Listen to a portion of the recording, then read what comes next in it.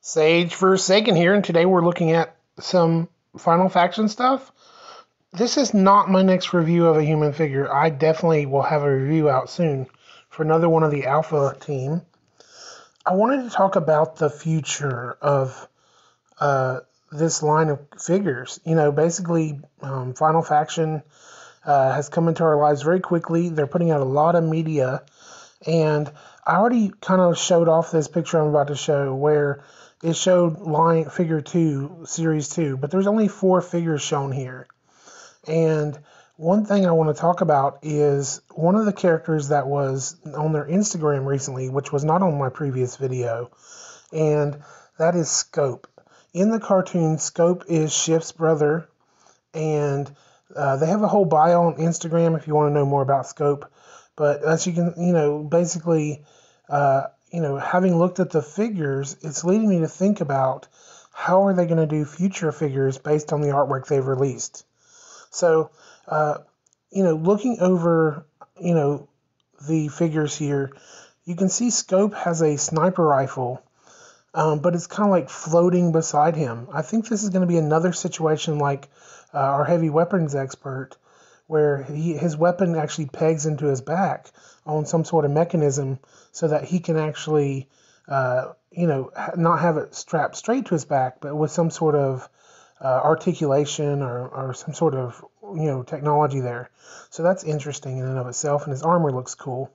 Now, Churro, you can see here in this picture, he has the wings from the other mech suit, uh, you know, assault, air assault pack on his back.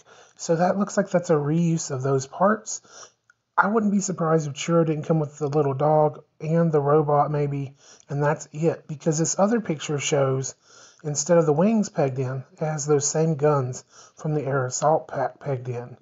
It's smart to reuse these parts, and there would be this is a reason you need to probably buy up some extra air assault packs now. You know, in case you have trouble finding them later once you do get Churro, you need to have enough for all your mechs. Now, also on the Instagram, they have uh, new figure, new characters that are just silhouetted, and this is a, of course, uh, you know, a Karn, uh, you know, bounty hunter that's being sent uh, after another figure we're going to look at later. Uh, apparently, he's kind of like the Boba Fett of the Karn, so it'll be interesting to see what all he has, what those weapons are. Uh, it looks very interesting silhouetted that way. Now, Riptide is going to be another Alpha team member, and it looks like he's uh, he's some sort of diver. Um, he's got some sort of mast head, which I'm really excited about, especially for custom potential. I'm wondering if is it going to be removable? Is it going to be just a sculpted on um, helmet? Either way, I think it's going to be cool.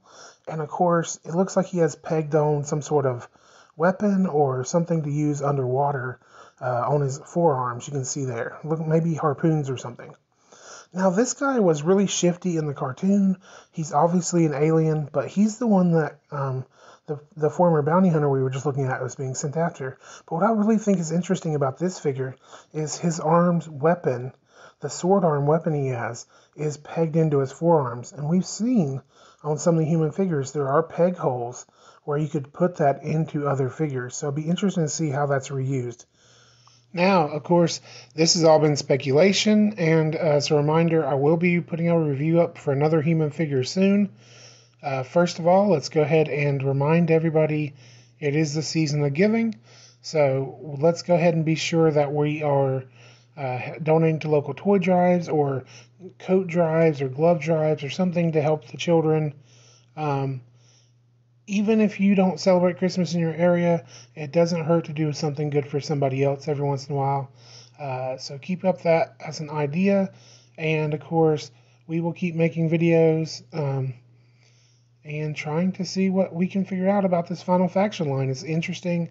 I love that they are making toys that are cheap, uh, that can be, uh, you know, fun too.